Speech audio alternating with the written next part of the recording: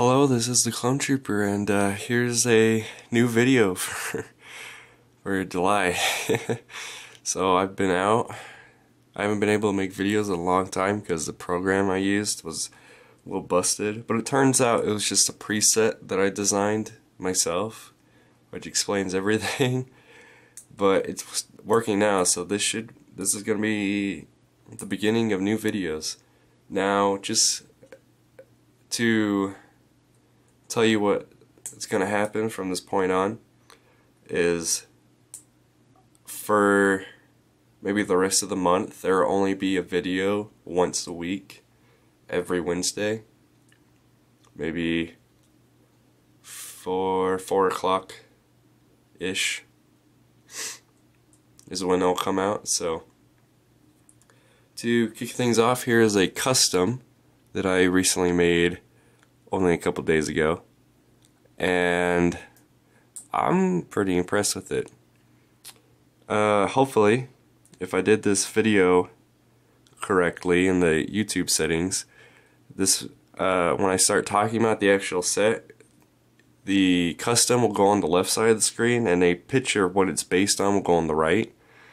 So this is from Star Wars Commander. It is called a ATMP, which stands for All Terrain Missile Platform.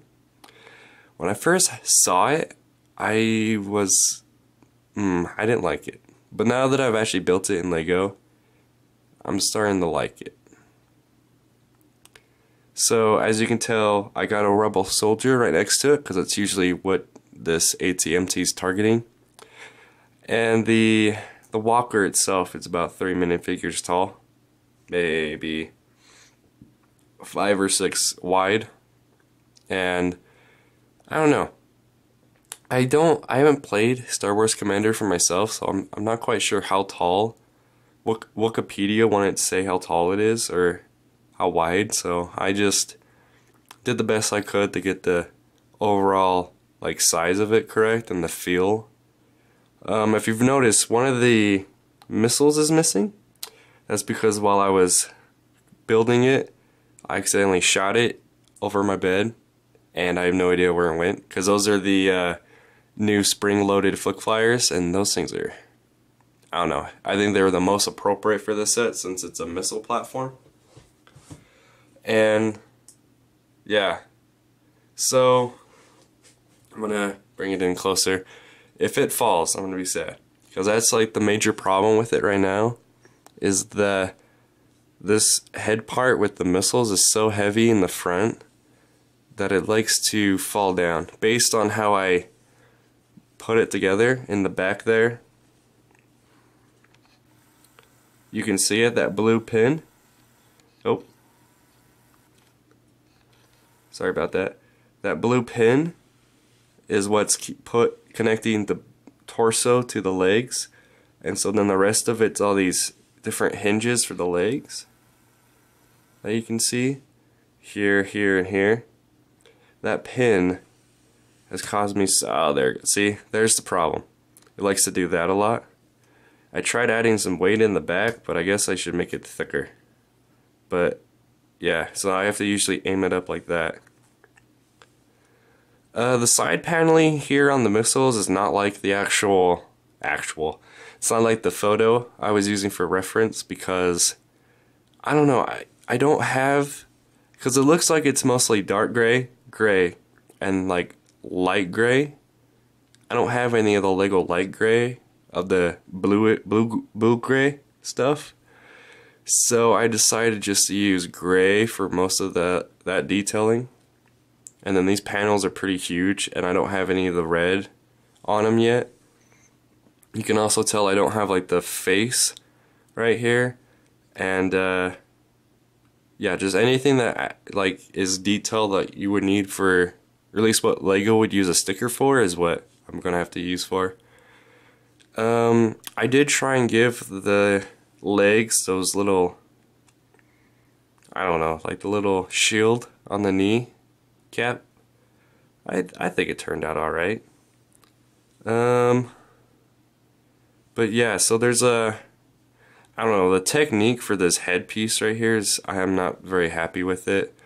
I haven't finished it because as you can see there's a huge gap right here. Thank you head for falling down. There's a big gap. I'll lift it, I'll put it back up like that. Look at that. I'm pretty sure that's all supposed to be filled in in the photo. So this is just a prototype. I like to build uh, my like customs with real bricks and then either one I'm not happy with it completely or I can't build it with real bricks then I go on to Lego Digital Designer which is a free program by the way. Um, for those of you that want to uh, digitize your stuff I use that program uh, for any things I can't do with like uh, I'm trying to remember what customs. Like most of the larger customs I'm, I'm planning on doing like any starships or any of the major walkers are probably gonna have to be designed in Lego Digital Designer first. But stuff like this I have enough parts in my collection where I can just build it out and feel it. But yeah I'm I'm happy with this custom.